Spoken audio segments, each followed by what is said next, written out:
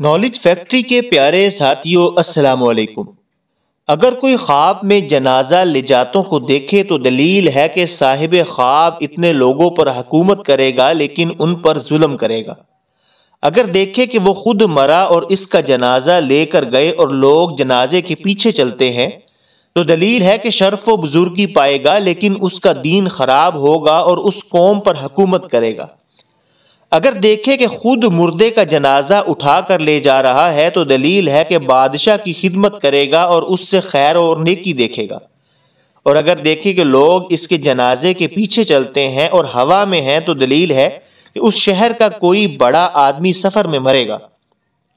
और अगर अपना जनाजा देखे कि ज़मीन पर जा रहा है तो दलील है कि सफ़र करेगा। हज़रत इब्राहिम करमानी ने फरमाया कि अगर देखे कि जिंदे का जनाजा ले जा रहे हैं और उसके पीछे कोई नहीं है तो उसकी इज़्ज़त व मरतबे और काम में नुकसान की दलील है। और अगर देखे कि लोग उसके जनाजे के पीछे थे तो उसकी तावील अव्वल के खिलाफ है। और अगर देखे कि उसका जनाजा जारी था तो दलील है कि लोगों पर जुल्म करेगा।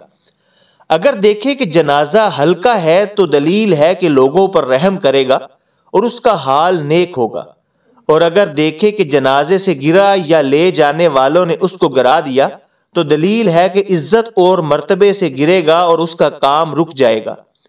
हज़रत जाफ़र सादक ने फरमाया कि जनाजा ख्वाब में तीन वजह से है।